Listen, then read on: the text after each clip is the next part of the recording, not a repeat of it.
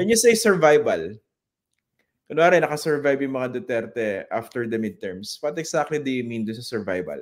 Survival, for example, na hindi nakulong ng ICC o hindi dinampot? What kind of survival are we talking about here? Dalawa. Una, yung survival na hindi makulong, hindi mapasok ang ICC para implement yung warrant. At ikalawa, ay survival in terms of uh, yung kanilang mga kandidato sa midterm ay at least sa Senate ay mag-survive. Mm. Hindi madurog. Mm. No? Hindi madurog. Whether kasama sa admin, whether adopted o hindi, mag-survive. At ikatlo ay hindi gumuho yung ratings ni Sara. Ibig sabihin ay uh, ah, 2028 na yung labanan at dahil hindi gumuho si Sara, isa siya sa mga top liners ay mag-shift yung loyalty nung mga umalis sa kanya, pabalik uli sa kanya. Kahit okay. dahan-dahan, kahit tahimik. Okay. Ito pa isang tanong, no? Kasi nga sa ganyang away, sino ba kasi nagsimula? Kasi parang minsan pag pinag-usapan natin from a certain uh, starting point yung away ng unit team, parang pwede mo sabihin kasalanan ni Digong o kasalanan ni BBM. Pero objectively, sino ba nagsimula? Ang tingin ko kasi si BBC ano eh, si, si Duterte. Yes, pero syempre from both sides, sasabihin nila, hindi, yung kabila nagsimula. Sasabihin ng, ng isa, hindi, sila yung nagsimula. Sabihin nung, nung una, hindi, promisa nila ganito eh. Tapos nung nanalo, binawi yung promisa. No? Mm. Eh, sabihin naman ng kamila, wala naman kami ganung promisa eh. No, wala naman kami ganung promisa eh. Gusto nila agawin lahat eh. Gusto nila kam kami lahat eh. Hindi naman sila yung nanalong presidente. So, ah, uh, baka tabla yung sisihan. Pero ang scaling up, definitely tama ka, laki Digong. Dahil si Digong talagang binato lahat ng pwedeng ibato eh. No? Yung iba ay nag skirmish pa lang. Si Digong nilabas na yung big guns. Nilabas na yung mga kanyon.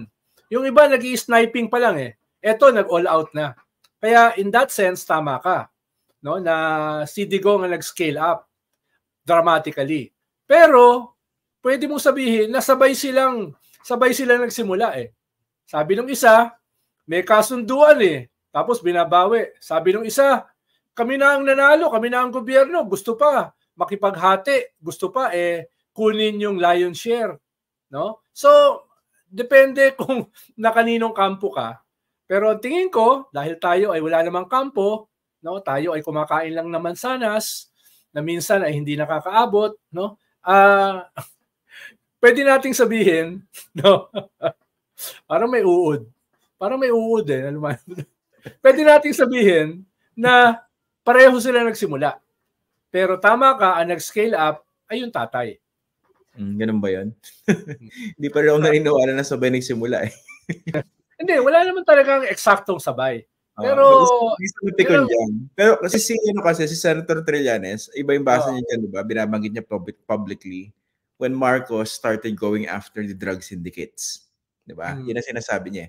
Ah, oh, ibang angulo naman yon. Sa angulo niya yun. Kasi, oh, di ba, yung conventional wisdom, ang oh. nag-trigger dyan, yung ICC or the threat of the ICC. Pero nga, so mm-hmm. far, what do you think of the way President Marcos is handling that that big card? Yung ace niya, yung yung ICC na yan. Kasi publicly sinasabi niya, di ba, hindi nagbabago yung posisyon. Pero minsan, pag sinabi mo hindi nagbabago yung posisyon, you have to clarify what kind of position you're talking about. Eh kasi, di ba, may mga public pronouncements yung DOJ eh. Kaya kung ikaw si Duterte, Nakabahan ka kahit paano siguro, di ba? Well, kung ang alas mo kasi ay ICC, you, you keep it close to your heart. Hindi mo siya masyadong ilalantad. Dahil kung presidente ka naman kasi, pwede ka magbago ng position mo overnight. Di ba? Sino magsasabi sa iyo, ay, pa nagbago yung position niya? Eh ano? Presidente ako eh. No? Pinago ko yung position ko. Anong anong anong magagawa mo kung binago ko yung position ko? So, lalo na kung warrant of arrest yung dada, yung dadating, eh, ba't mo naman i-announce na may darating na warrant? Ba't mo naman i-announce na isi-serve yung warrant? Bakit mo naman i-announce na yung magsa-serve ng warrant tutulungan mo? Siyempre, hindi mo gagawin yon. Mm. No? So, mauunawaan ko kung bakit ganyan yung kanyang positioning.